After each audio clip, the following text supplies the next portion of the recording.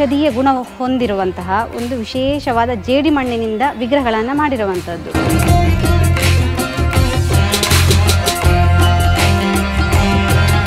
March ಹದಿನಾಲ್ಕನೇ ತಾರೀಕಿಗೆ ಮೀನ ಸಂಕ್ರಮಣಕ್ಕೆ ಧ್ವಜಾರೋಹಣ. ಅದಾದ ಮೇಲೆ ಜಾತ್ರೆ ಎಷ್ಟು ಎಂಬುದಕ್ಕೆ ಒಂದು ಪ್ರಕ್ರಿಯೆಗಳು ಬೇರೆ ಉಂಟು. ಇಪ್ಪತ್ತೇಳು, ಇಪ್ಪತ್ತೆಂಟು, ಇಪ್ಪತ್ತೊಂಬತ್ತು, ಮೂವತ್ತು. ಈ ನಾಲ್ಕು ದಿವಸಗಳು ಬರ್ಬೋದು. ಗರ್ಭಗುಡಿಯಲ್ಲಿ ನಿಮಗೆ ಇಡೀ ದೇವರ ವಿಗ್ರಹ ಕಾಣುವುದಿಲ್ಲ ನೀವು ದೇವರ ಎದುರಿಗೆ ಕೂತ್ರೆ ಮಾತ್ರ ನಿಮಗೆ ದೇವರ ಇಡೀ ರೂಪ ಕಂಡು ಆನಂದೋದ್ಭವ ಆಗ್ತದೆ. ನಮಗೆ ಅಷ್ಟು ಖುಷಿ ಅನಿಸ್ತದೆ ದೇವರನ್ನು ನೋಡಬೇಕಾದ್ರೆ.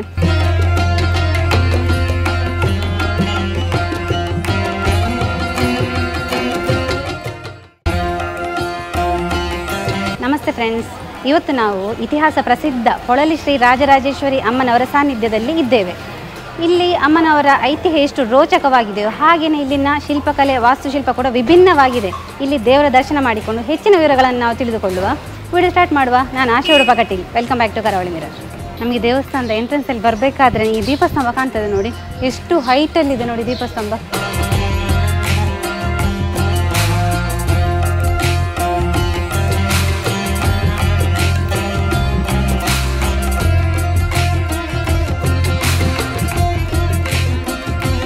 ರಾಜರಾಜೇಶ್ವರಿ ಅಮ್ಮನವರ ಸಾನ್ನಿಧ್ಯ ನೋಡಿ.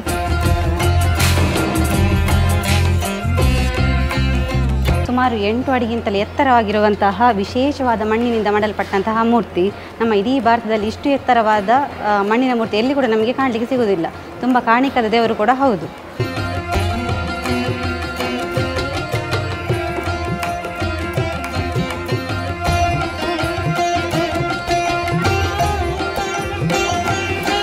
ಗರ್ಭಗುಡಿಯ ಬಲಭಾಗಕ್ಕೆ ಗಣಪತಿಯವರು ಹಾಗೆ ಸುಬ್ರಹ್ಮಣ್ಯ ದೇವರ ಸಾನ್ನಿಧ್ಯ ಇದೆ. ನೋಡಿ.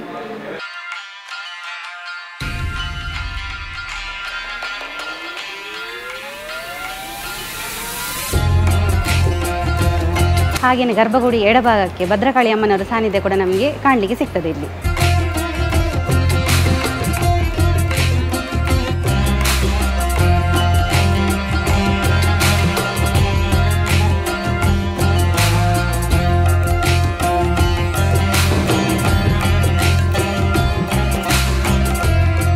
ಗರ್ಭಗುಡಿಯ ಕೆತ್ತನೆ ಎಲ್ಲ ನೋಡಿ ಅಂತೆ. ಮರದ ಕೆತ್ತನೆ ಎಲ್ಲ ತುಂಬಾನೇ ಚೆನ್ನಾಗಿದೆ, ನೋಡಿ.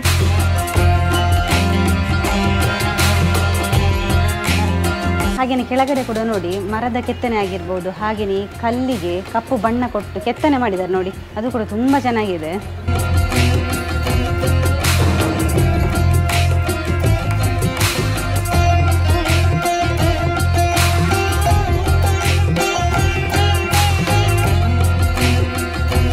ಗರ್ಭಗುಡಿಯ ಸುತ್ತ ಉಂಟಲ್ಲ, ಇದೇ ತರದ ಕೆತ್ತನೆ ನಮಗೆ ಕಾಣಲಿಕ್ಕೆ ಸಿಗ್ತದೆ. ಆ ಕಲಾಕೃತಿ, ವಿನ್ಯಾಸ ಎಲ್ಲ ತುಂಬಾನೇ ಚೆನ್ನಾಗಿದೆ ನೋಡಿ.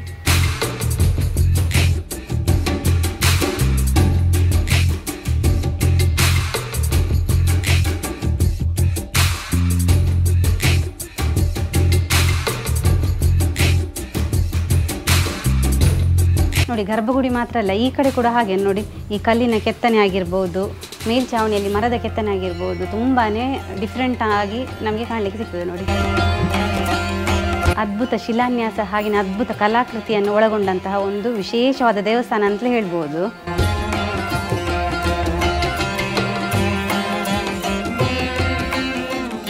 ದೇವರ ಅಭಿಷೇಕ ಮಾಡಿದ ತೀರ್ಥ ಹೋಗೋ ಕೊಳವೆ ನೋಡಿಯಂತೆ ಒಂಥರ ಸಿಂಹದ ಮಾದರಿಯಲ್ಲಿ ಮಾಡಿದ್ದಾರೆ.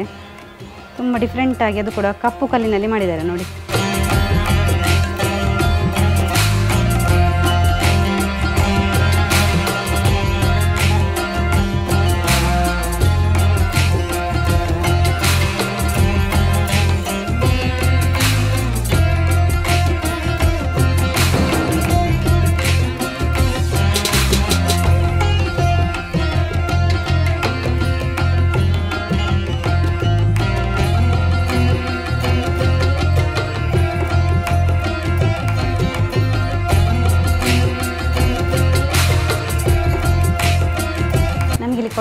ದೈವದ ಸಾನ್ನಿಧ್ಯ ಕೂಡ ಕಾಣಲಿಕ್ಕೆ ಸಿಗ್ತದೆ ನೋಡಿ. ಇದು ನಮ್ಮ ಗರ್ಭಗುಡಿಯ ಅಭಿಮುಖವಾಗಿ ಇದೆ. ಈ ದೇವಸ್ಥಾನದ ಮೇನ್ ಅಟ್ರಾಕ್ಷನ್ ಅಂತ ಹೇಳಿದ್ರೆ ಇಲ್ಲಿದ್ದು ವಾಸ್ತುಶಿಲ್ಪ ಹಾಗೇನೆ ಶಿಲ್ಪಕಲೆ. ಇಲ್ಲಿ ನೋಡಿ ಅಂತೆ, ನವಿಲಿನ ಆಕೃತಿ, ಅದು ಒಂದು ಕಲ್ಲಿನಲ್ಲಿ ಕಪ್ಪು ಬಣ್ಣ ಲೇಪ ಮಾಡಿ ಆಕೃತಿ ಮಾಡಿದ್ದಾರೆ ನೋಡಿ ನವಿಲಿದ್ದು. ನಮಗೆ ನ್ಯಾಚುರಲ್ ನವಿಲನ್ನು ನೋಡಿದ ಹಾಗೆಯೇ ಫೀಲ್ ಆಗ್ತದೆ ನೋಡಿ.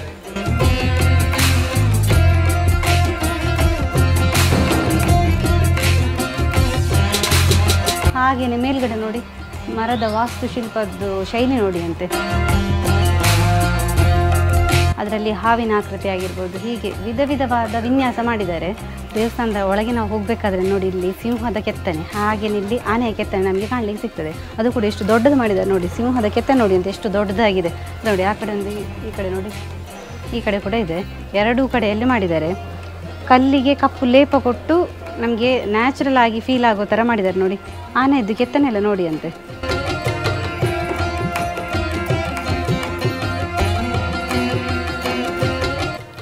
ಹಾಗೆಯೇ ದೇವಳದ ಕೊಡಿಮರ ನೋಡಿ, ಆಮೆಯ ಮೇಲೆ ನಿಂತ ಭಂಗಿಯಲ್ಲಿ ತುಂಬ ವಿಶೇಷವಾದ ವಿನ್ಯಾಸದಲ್ಲಿ ಮಾಡಿದ್ದಾರೆ ನೋಡಿ.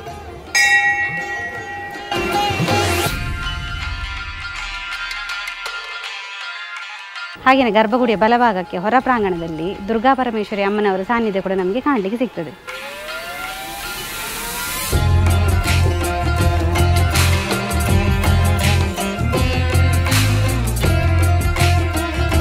ವಸಂತ ಮಂಟಪ ಕೂಡ ನವೀನ ಆಕೃತಿಯಲ್ಲಿ ಮಾಡಿದ್ದಾರೆ. ನಮ್ಮ ಜಾತ್ರಾ ಮಹೋತ್ಸವ ಸಂದರ್ಭದಲ್ಲಿ ಇಲ್ಲಿ ವಿಶೇಷವಾದ ಪೂಜೆಯನ್ನು ನಡೀತದೆ ನೋಡಿ.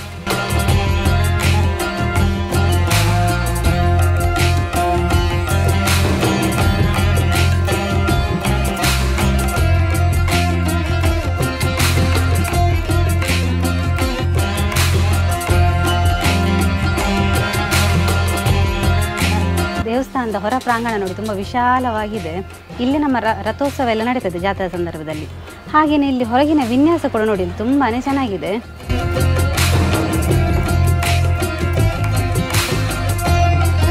ಇಲ್ಲಿನ ಇತಿಹಾಸವೇ ತುಂಬ ರೋಚಕವಾಗಿದೆ. ಸಾಧಾರಣ ಒಂದು ಐದು ಸಾವಿರ ವರ್ಷದ ಇತಿಹಾಸ ಇದೆ. ಈ ಹೊಯ್ಸಳ, ರಾಷ್ಟ್ರಕೂಟ, ಕದಂಬ ಇಂಥ ರಾಜರುಗಳೆಲ್ಲ ಈ ಪ್ರದೇಶವನ್ನು ಆಳ್ತಾ ಇದ್ರಂತೆ. ರಾಜರ ಪ್ರವಾಸ ಕಥನಗಳಿರ್ತದೆ ನೋಡಿ. ಅದರಲ್ಲಿ ಕೂಡ ಈ ದೇವಸ್ಥಾನದ ಉಲ್ಲೇಖ ಬರ್ತದೆ.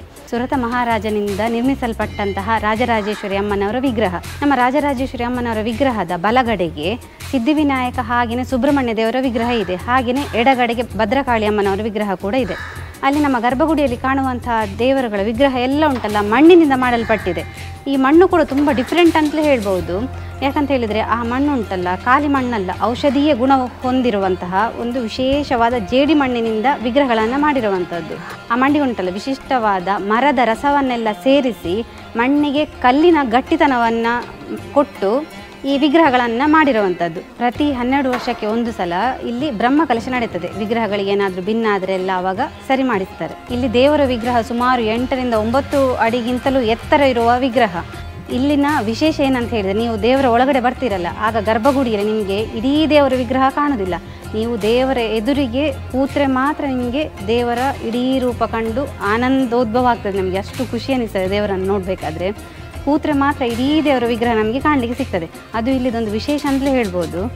ಇಲ್ಲಿ ಸುರತ ಮಹಾರಾಜನು ತಾನು ದೇ, ರಾಜ್ಯಭ್ರಷ್ಟನಾಗಿ ಇರುವಾಗಲೂ, ಹಾಗೆ ಸಮಾಧಿ ಎಂಬ ವೈಶ್ಯನು ತನ್ನ ಹೆಂಡತಿ ಮಕ್ಕಳಿಂದ ವಂಚನೆಯಾಗಿ, ಆಗಿರುವಾಗಲೂ, ಅವರು ಸಮಾನ ದುಃಖಿಗಳಾಗಿ ಒಂದು ಬರುವ ಸುಮೇಧ ಸಮರ್ಷಿಗಳು ಅವರೊಂದು ಸಂಧಿಸುತ್ತಾರೆ. ಅದು ಬಿ, ಸಿ ರೋಡು ಅಂತ ನಾವು ಹೇಳ್ತೇವೆ ನಮ್ಮ ಕಲ್ಪನೆಗೆ. ಬಂಟ್ವಾಲ್, ಕ್ರಾಸ್ ರೋಡು ಅಂತ ಎಲ್ಲ ಹೇಳ್ತೇವೆ. ಅಂಥದ್ರಲ್ಲಿ ಈಗ ಅಲ್ಲಿ ಬಿ, ಅಲ್ಲಿ ಅವರು ಸಮಾಧಿ ಆ ಸಂಧಿಸಿದರು ಅಂತ ಹೇಳುವಂಥ ರೀತಿ ಬರ್ತದೆ. ಅಲ್ಲಿ ಆಶ್ರಮ ಇದ್ದಿದ್ದಕ್ಕೂ ಸಾಕು. ಅಲ್ಲಿ ಅವರು ಇವರಿಂದ ಮಂತ್ರೋಪರಿ ಪಡೆದುಕೊಂಡು ಅದನ್ನು ಪುನಃ ಪುನಃ ಸಿದ್ಧಿಪೂರ್ವಕ ನಡೆಸಿಕೊಟ್ಟು ಬಂದು, ಆಮೇಲೆ ಅವರಿಗೆ ಅವರ ಗಾತ್ರಕ್ಕೆ ಸರಿಯಾದಂಥ ಶ್ರೀ ರಾಜರಾಜೇಶ್ವರಿ ಬಿಂಬವು ಗೋಚರವಾಯಿತು. ಹಾಗೆ ಸಮಾಧಿಗೂ ಗೊತ್ತಾ ಪ್ರತ್ಯಕ್ಷವಾಗಿ ಅವರ ಅಭಿವಾದವನ್ನು ಕೇಳಿದರು ಅಂತೇಳಿ ರಾಜನಿಗೆ ಅವನೊಂದು ಇದರ ಕೆಲವೊಂದು ಜ್ಞಾನದ ರೀತಿಯಲ್ಲಿ ಬರ್ತದೆ. ರಾಜನಿಗೆ ತನ್ನ ದೇಶಕೋಶ ಬೇಕು ಬೇಕು ಅಂತ ಹೇಳೋ ರೀತಿಯಲ್ಲಿ ಅವನು ಅದನ್ನು ದೇವಿನ ಅವರಿಗೆ ಬರ್ತದೆ. ಇವತ್ತಿಗೂ ಸಾವರ್ಣಿ ಬೈತ ಮನುಹು ಅಂತ ಹೇಳುವಾಗ ಅವನು ಅವನ ಹೆಸರು ಅಜರಾಮರಾಗಿ ಉಂಟು. ಅದೇ ರೀತಿ ಸಮಾಧಿ ಎಂಬವನಿಗೆ ಈ ಸಂಸಾರ ಪಂಕ ನಿರ್ಮಗ್ನ ಸಮಧರಣ ಪಂಡಿತ ಅಂತ ಹೇಳಿದಾಗ ಈ ಸಂಸಾರ ಅಂತ ಹೇಳಿದ್ರೆ ಏನಿಲ್ಲ. ಇದರಲ್ಲಿ ನಮಗೆ ಭಾ ಇದಂತ ಅದನ್ನು ನನಗೆ ಯಾರು ಹೆಂಡತಿ ಬೇಡ, ಮಕ್ಕಳು ಎಲ್ಲ ಬೇಡ. ನಾನು ಇನ್ನ ಸಾಹಿತ್ಯವನ್ನು ಕೊಡುವಂಥ ಪ್ರಾರ್ಥಿಸಿದ ಪ್ರಕಾರ ಅವನು ದೇವಲ್ಲಿ ಜ್ಞಾ, ಬ್ರಹ್ಮಜ್ಞಾನ ಪಡ್ಕೊಳ್ತಾನೆ ಅಂತ ಹೇಳುವಂಥದ್ದು. ಅಂತೂ ಇದು ಇಷ್ಟು ಸಾಮಾನ್ಯ ಗೋಚರಕ್ಕೆ ಬರುವಂಥ ವಿಷಯಗಳು.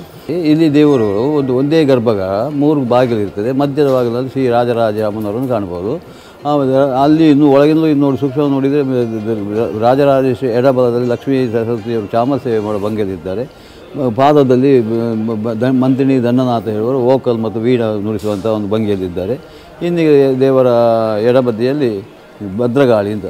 ಭದ್ರಗಾಳಿ, ಕೃಷ್ಣಾಂಗಿ ರಕ್ತವಸ್ತಾಂ ಕರಿಮುಖದ ಸತ್ಕುಂಡಲಾಂ ಚಂದ್ರ ಕಂಠೋದ ರುಂಡಮಾಲಾಂ, ಸಾಪುರದ ಭೂತ ಪೇಶಾವತಂ, ಘೋರಾಂ, ಘೋರಾಟ್ಟಹಾಸಿಂ ಕರಕರಿದ ಪಾಲಾದೆ ರೌದ್ರಾಂ, ತ್ರಿನೇತ್ರಾಂ, ಶತ್ರುಡಾಂ, ಪ್ರಾಣಹಂತೆಂ ಊಟಾಂ ಭಾವಯೇತ್, ಭದ್ರಗಾಳಿ ಅಂತೇಳಿ ರೌದ್ರಾದಿ ರೌದ್ರೂಪದಲ್ಲಿ ಇದ್ದುಕೊಂಡು ಅಷ್ಟಭೈರವ ಮಂತ್ರಿನಿ ಮಾದರಿ ಕೃಪಾ ಎಲ್ಲ ಸೇರಿಕೊಂಡು ಕ ರುಂಡ ಮಾಲೆಯಿಂದ ಕಂಠದಲ್ಲಿ ಹಾಕಿ ಕರಳದ ಹಾಕ್ಕೊಂಡು ಬೀಗ ಇದರಲ್ಲಿ ಮಾಟ, ತಿದ್ದ, ದೋಷ ಗೀಷಗಳು ಭಯಂಕರ ಅತಿ ಎಷ್ಟೆಷ್ಟು ಖರ್ಚು ಮಾಡಿ ಗುಣ ಆಗಲಿಲ್ಲ ಅಂತ ಹೇಳೋರು ಬಂದು ಇಲ್ಲಿ ದೇವರ ಬರೀ ಪೂಜೆ ನೋಡಿ ತೀರ್ಥ ಸ್ನಾನ ಅಂತ ಪ್ರಕೃತಿ ಉಂಟು.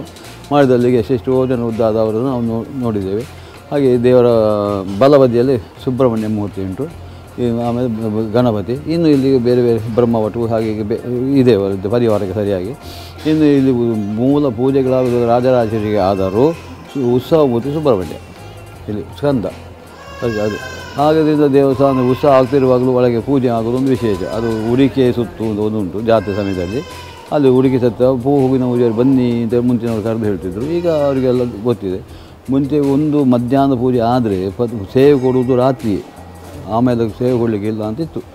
ಈಗಿನ ಕಾಲಕ್ಕೆ ಇದೆಲ್ಲ ಮಾಡಿ ನಾವೇನೆಲ್ಲ ರಸೀದಿ ಮಾಡಿ ಕೂಡಲೇ ಸೇವೆ ಇದು ಕೊಟ್ಟು ಬಿಡಿ ಜನರಿಗೆ ಅಷ್ಟಷ್ಟು ಕಾಯ್ಲಿಕ್ಕೆ ಆಗುತ್ತೆ ಆ ರೀತಿಯಲ್ಲಿ ಈಗ ಪೂಜೆ ಆಗೋದು ಆ ಉರಿಕೆ ಉಡಿಕೆ ಸುತ್ತು ಉಂಟು.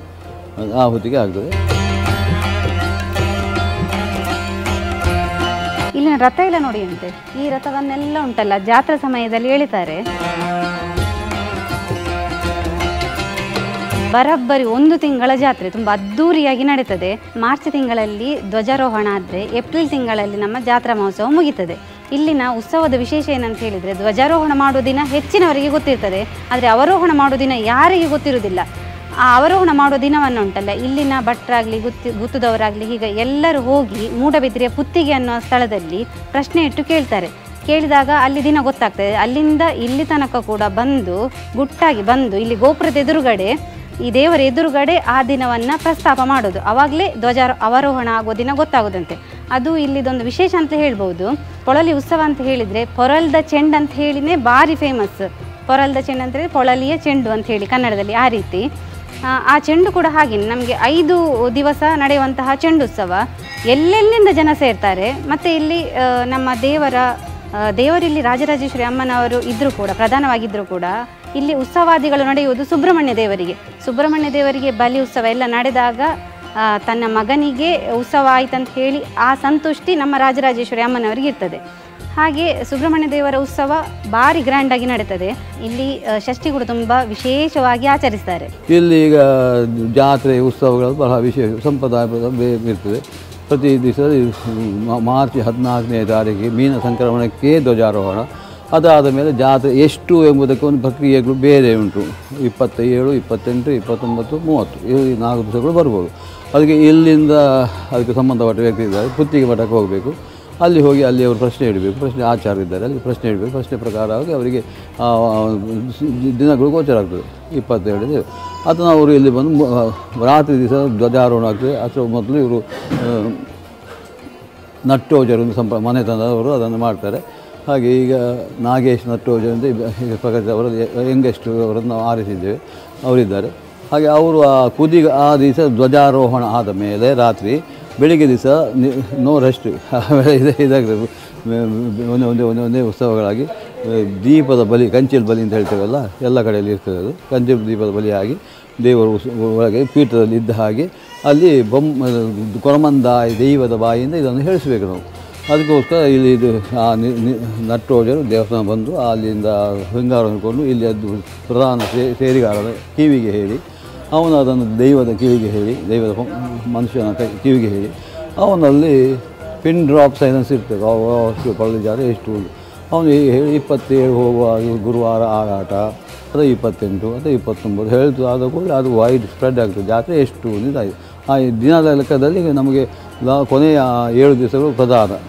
ಕೊಡಿ, ಧ್ವಜ ಆರೋಹಣ ಮೈನ್ ಆಮೇಲೆ ಐದೈದು ದಿವಸಕ್ಕೊಂದು ಸರಿ ದಂಡಮಾಲೆ ಅದು ಇಪ್ಪತ್ತು ನಿಮಿಷ ಫಂಡಮೆಂಟಲ್ ಇಪ್ಪತ್ತರಿಂದ ಮೂವತ್ತರವರೆಗೆ ಇರುವಂಥ ದಿನಗಳಲ್ಲಿ ಚೆಂಡಿ ಯಾವಾಗ ಅಂತ ಹೇಳುವಂಥದ್ದು ನಿರ್ಧಾರ ಆಗ್ತದೆ. ಕೊನೆಯ ರಥೋತ್ಸವ ಆವೃತ, ಆಮೇಲೆ ಐದು ಚೆಂಡು, ಇದು ಐದು, ಏಳು ಪ್ರಧಾನ ವಿಷಯಗಳು. ಈ ಮಧ್ಯದಲ್ಲಿ ನಿತ್ಯ ಆಯನ ಅಂತೇಳಿ ಬರ್ತದೆ. ಇದೆಲ್ಲ ಇದು ಕೂಡಲೇ ಕಾಗದ ಪ್ರಿಂಟ್ ಆಗ್ತದೆ ಆಗ್ತದೆ. ಆದರೆ ಬೇರೆ ದೇವಸ್ಥಾನಗಳಿದ್ದಾಗ ನಮಗೆ ಅಡ್ವಾ ಇದು ಪ್ರಿಪೇಡ್ ಮಾಡಲಿಕ್ಕೆ ಆಗೋದಿಲ್ಲ. ಯಾಕಂದ್ರೆ ಧ್ವಜ ಗೊತ್ತು ನಮಗೆ ಆ ದಿವಸ. ಅದನ್ನು ಮಾಡಿ ಅದು ಲೋಕ ಪ್ರಚಾರ ಆಗ್ತದೆ. ಸಾಮಾನ್ಯ ಎಲ್ಲರಿಗೂ ಗೊತ್ತಿದೆ. ಅದು ಆಗ್ತದೆ. ಮತ್ತು ವಿಳಾಸ ಹಾಗೂ ಹೋಗ್ತದೆ.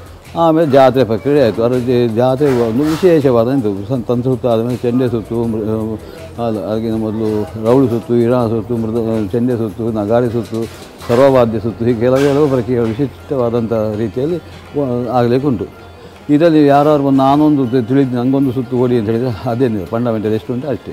ಅದಾದಮೇಲೆ ರಥೋತ್ಸವಗಳು ಇದೆಲ್ಲ ಇರ್ತದೆ. ನಿತ್ಯ ಏಳು ರಥಗಳು ಇದೆ. ಒಂದನೇ ಚೆಂಡಿಗೆ ನಿತ್ಯ ಕೊಡಿ ಧ್ವಜಾರೋಹಣ ಆಗೋ ದಿವಸಕ್ಕೆ ಬೇರೆ ಉಂಟು. ಷಷ್ಠಿ, ಶಿವರಾತ್ರಿಗೆ ಧ್ವಜಾರೋಹಣ ಉಂಟು. ಆಮೇಲೆ ಇದು ಧ್ವಜ ಇಪ್ಪತ್ತನೇ ದಿನಕ್ಕೆ ಇಪ್ಪತ್ತನೇ ದಂಡ ದಂಡಮಾದ ಅಂತ ಹೇಳ್ತೇವೆ. ಐದು ಐದು ದಿವಸಕ್ಕೊಂದು ದಂಡ ದೇವರ ಇದು ಬ್ಯಾಗೆ ಬಟ್ಟೆ ಇದಲ್ಲ, ಇದು ಕೇಪಳ ಹೂವಿನಿಂದಲೇ ಮಾಡೋದು ದಂಡೆ ದಂಡೆ ದೇವರಿಗೆ ಅಲಂಕಾರಕ್ಕೆ. ಅದು ಐದೈದು ದಿವಸಕ್ಕೆ ಚೇಂಜ್ ಮಾಡಲಿಕ್ಕೆ ಉಂಟು ಇಪ್ಪತ್ತನೇ ದಿವಸಕ್ಕೆ ಆಗೋ ಒಂದು ನವಿಲು ರಥ ಅಂತ ಉಂಟು. ಆಮೇಲೆ ಒಂದನೇ ಜಂಡಿಗೆ ಎರಡನೇ ಜಂಡಿಗೆ ಮೂರನೇ ಜಂಡಿಗೆ ನಾಲ್ಕನೇ, ಐದನೇ ಜಂಡಿಗೆ ಐದು ರಥಗಳಾಗಿ ಮಹಾರಥೋತ್ಸವಕ್ಕೆ ದೊಡ್ಡ ರಥಗಳು ಹೊರಗೆ ಇಟ್ಟಿದ್ದಾರೆ. ಅದಕ್ಕೆ ಅಲಂಕಾರ, ಈ ದೇವಸ್ಥಾನ ಹೊರಗಿನ ಪ್ರಾಂಗಣಕ್ಕೆ ಸುತ್ತುವರೆದಿದೆ ಇಷ್ಟು ಜಾತ್ರೆ ಪ್ರಕ್ರಿಯೆ ಆದ ಮೇಲೆ ಈ ಪ್ರತಿ ದಿವಸ ಅನ್ನ ಅನ್ನದಾನ ಉಂಟು. ಮಧ್ಯಾಹ್ನಕ್ಕೆ, ರಾತ್ರಿಗೆ ಯೂಸ್ ಮಾಡಲಿಲ್ಲ. ಮಧ್ಯಾಹ್ನ ಸಾವಿರಾರು ಜನಗಳು ಬರ್ತಾರೆ.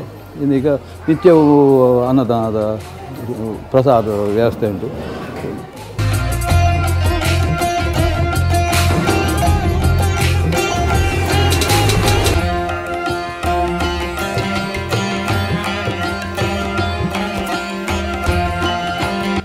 ರಾಜರಾಜೇಶ್ವರಿ ಅಮ್ಮನವರಿಗೆ ಚಂಡಿಕೋಮ ಹಾಗೆಯೇ ರಂಗಪೂಜೆ ತುಂಬ ಇಷ್ಟವಾದಂತಹ ಸೇವೆ. ಹಾಗೆಯೇ ಇಲ್ಲಿ ಸೀರೆ ಎಲ್ಲ ತುಂಬ ದೇವರಿಗೆ ಬರ್ತದೆ. ಅಂದರೆ ನಮ್ಮ ಮನಸ್ಸಿನಲ್ಲಿದ್ದಂತಹ ಎಲ್ಲ ಗೊಂದಲಗಳನ್ನು ಈ ರಾಜರಾಜೇಶ್ವರಿ ಅಮ್ಮನವರು ನಿವಾರಿಸ್ತಾರೆ.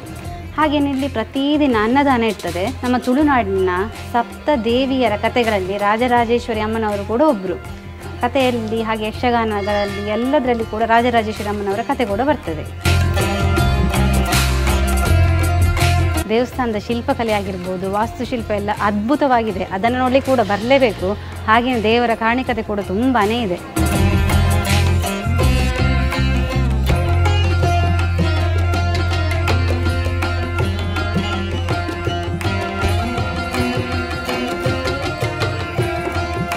ನೋಡಿ, ದೇವಳಕ್ಕೆ ಸಂಬಂಧಪಟ್ಟಂತಹ ಕ್ಷೇತ್ರಪಾಲನ ಸಾನ್ನಿಧ್ಯ ನೋಡಿ.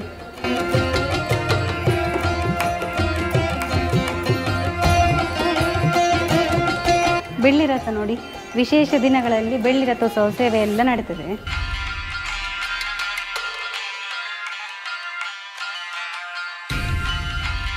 ನೋಡಿ ದೇವಸ್ಥಾನದ ಹೊರ ಪ್ರಾಂಗಣದಲ್ಲಿ ಉಳ್ಳಾಕ್ಲು ದೈವದ ಸಾನ್ನಿಧ್ಯ ಕೂಡ ಇದೆ.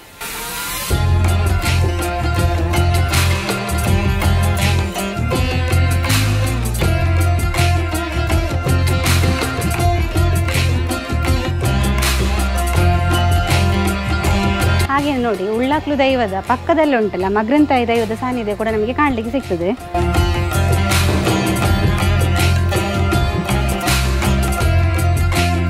ನೋಡಿ, ನಮ್ಮ ಉತ್ಸವ ಸಂದರ್ಭದಲ್ಲಿ ಪೊರಲ್ದ ಚೆಂಡ್ ಆಡುವ ಸ್ಥಳ ನೋಡಿ ಅಂತ ಎಷ್ಟು ವಿಶಾಲವಾಗಿದೆ. ಇಲ್ಲಿನ ಚೆಂಡು ಉಂಟಲ್ಲ, ಭಾರಿ ಒಂದು ವಿಶೇಷ ಅಂತ ಹೇಳ್ಬೋದು. ಯಾಕಂತ ಹೇಳಿದ್ರೆ ಅಷ್ಟು ದೊಡ್ಡ ಸೈಜಿನ ಗಾತ್ರದ ಚೆಂಡನ್ನ ಇಲ್ಲಿ ಆಟ ಆಡ್ತಾರೆ ಅದಕ್ಕೆ ಎಲ್ಲೆಲ್ಲಿಂದ ಜನ ಬರ್ತಾರೆ ಆಡಲಿಕ್ಕೆ?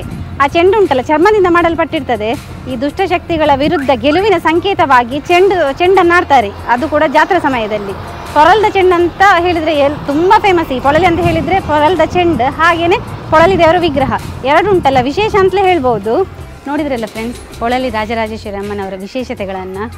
ಇಲ್ಲಿನ ವಾಸ್ತುಶಿಲ್ಪ ಆಗಿರ್ಬೋದು, ಶಿಲ್ಪಕಲೆ ಎಲ್ಲ ತುಂಬ ಅದ್ಭುತವಾಗಿದೆ. ಹಾಗೆಯೇ ನಮ್ಮ ರಾಜರಾಜೇಶ್ವರಿ ಅಮ್ಮನ ವಿಗ್ರಹ ಕೂಡ ಉಂಟಲ್ಲ.